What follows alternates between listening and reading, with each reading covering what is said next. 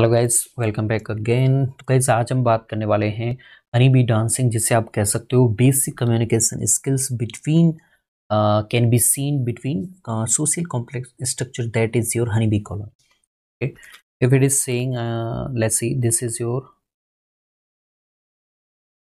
honey bee colony okay मधुमक्खी की colony है, एक बहुत ही जटिल सामाजिक संरचना दिखाती है। It is a very complex social structure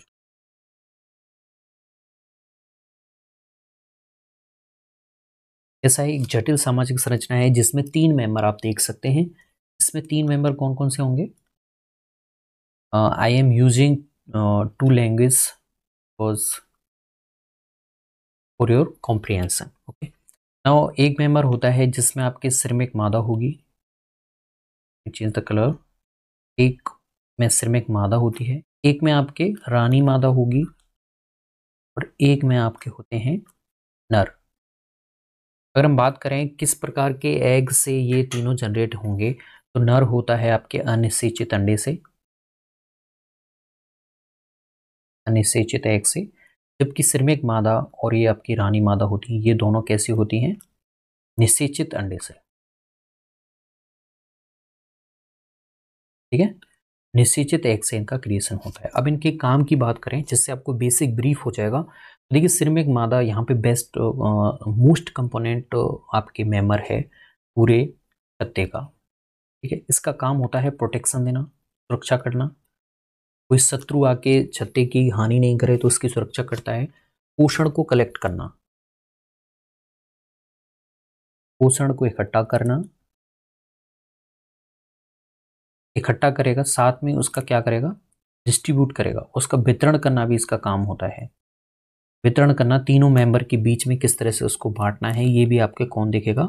ceramic मादा देखेगी। तो सिरमिक मादा यहाँ पे सबसे ज़्यादा मेहनती होती है, सबसे ज़्यादा वर्किंग कैपेबिलिटी की होती है और इसी में आपके क्या होते हैं? मोम ग्रंथियाँ पाई जाएँगी। एकमात्र सिरमिक मादा ये होती है जिसमें मोम ग्रंथियाँ पाई जाएँगी।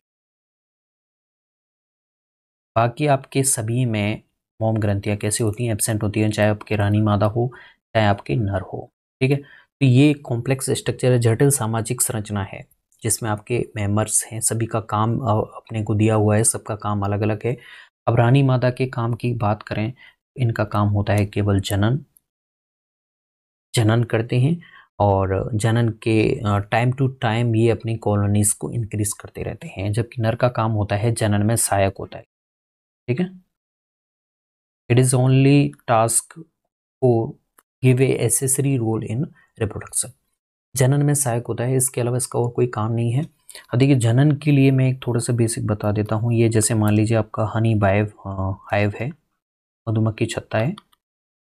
अब यहाँ से इसमें अलग अलग कोष्ट होंगे। एक कोष्ट में सिरमिक होंगे, एक में आपके नर होगा, एक में आपके रानी होंगे। और रानी की कैपेबिलिटी होती है, ये हर एक कोष्ट में जा पाती है। ठीक है, ऐसे ही श्रमिक होती है। ताकि उसे हर हर कोष्ट में जाके पोषण प्रदान करना होता है। तो यहाँ से रानी रानी कैसी होगी? यहाँ पे आकार में सबसे ज़्यादा बड़ी होती है और ये एक बार जनन के लिए छत्ते से बाहर आती है, जिसे हम बोलते हैं न्यूपिटल फ़्लाइट। मैथुनिक उड़ान, जिसे हम बोलते हैं मैथुनिक उड़ान।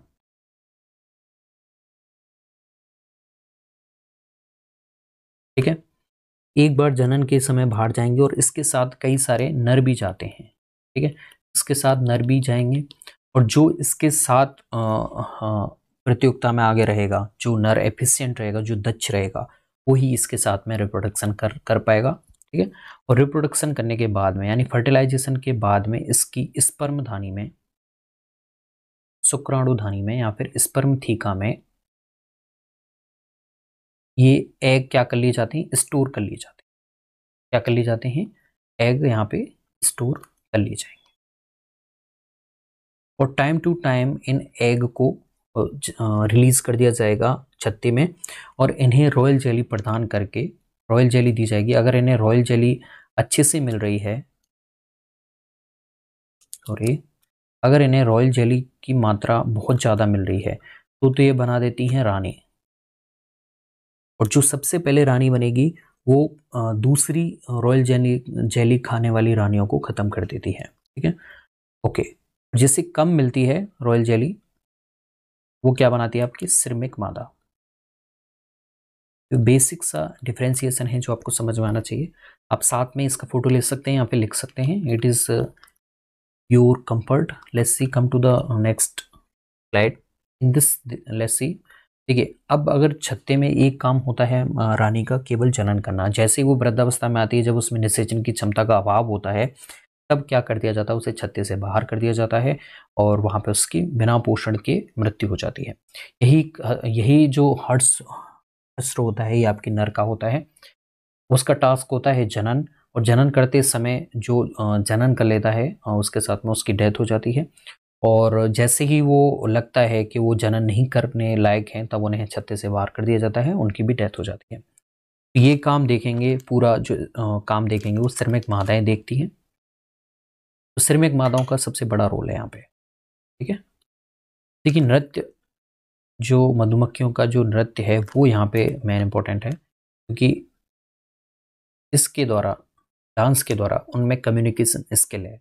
जैसे हम बात करते हैं भाषाओं के माध्यम से, उसी तरह उनमें एक तरह से नृत्य क्या है, भाषा का रूप है, जिसकी वजह से वो एक आपस में एक दूसरे के चीज़ें साझा कर पाते हैं। जैसे मान लीजिए यहाँ पे आपका हनी वाइब छत्ता यहाँ पे है। ठीक है, ये आ गया बहुत दूर आ गए एक हनी भी मेंबर है, जैसे मादा है श्रमिक, और ये यहाँ तक आ गई। अब इससे अपने मेंबर को सूचित करना है तो ये यहाँ पे क्या करेगी? इतनी दूर तक इनके बीच में और कोई कम्युनिकेशन तो है नहीं तो ये क्या करेगी? डांस क्रिएट करेगी। डांस की वजह से यहाँ पे इन्हें इंडिकेट करेगी, सूचना देगी कि खाना कितनी दूर है, किस दिशा में स्थित है। अब इस नृत्य को जो स्टडी किया था, वो थे सबसे पहले साइंटिस्ट कार्ल वन फ्रेस और इन्हें नृत्य के लिए नोबल पुरस्कार भी दिया गया था। एक डेप्थ स्टडी के लिए और उनकी कम्युनिकेशन स्किल्स को अच्छे से बताने के लिए कार्ल वन फ्रेस को नोबल पुरस्कार दिया गया। अब यहाँ पे हम बात कर लेते हैं थोड़ा सा डांस के बारे में। चलिए डांस देखते हैं। देखिए, दो तरह का होता है। एक तो होता है दुम हिलाने वाला, जिसे हम बोलते हैं टेल वैगिंग डांस एक होता है राउंड गोल नृत्य। ठीक है?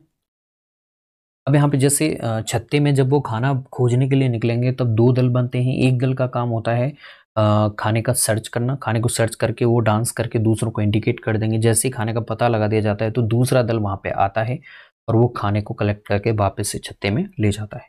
तो गोल नृत्य है, जैसे मान लीजिए, ये आपका सन है, सन की डायरेक्शन में है और खाना इधर मिल रहा है, सन के अपोजिट डायरेक्शन में, ठीक है? तो हनी हनी है, जैसे मान लीजिए, ये मधुमक्खी है। अगर वो गोल नृत्य कर रही है, इस तरह से गोल नृत्य कर रही है इस तरह से। ठीक है? तो ये कैसा है? सूर्य की विपरीत दिशा में है। तो वो दिखा रही है कि खाना कहाँ पे है? सूर्य की विपरीत दिशा में है। अगर गोल नृत्य कर रही है तो उसका कहने का मतलब है, खाने का दूरी कितनी है? खाने के स्रोत की दूरी है पिचहत्तर मीटर तक। मैक्सिमम पिचहत्तर मीटर तक आपको खाना मिल जाएगा। तो सारे कॉलोनी मेंबर आएँगे और वो पिचहत्तर मीटर दूरी तक ही उसे सर्च करने की ट्राई करेंगे। उससे ज़्यादा दूर नहीं जाएँगे। ठीक है? अगर वो नृत्य ऐसे करती है, जैसे मान लीजिए मैं पार्टिसिपेट कर देता हूँ इसे। जैसे मान लीजिए, सन यहाँ पे है आपका। ये क्या? सूरज है। और खाना आपका सूरज की दिशा में ही है। यहाँ पे एक मधुमक्खी है।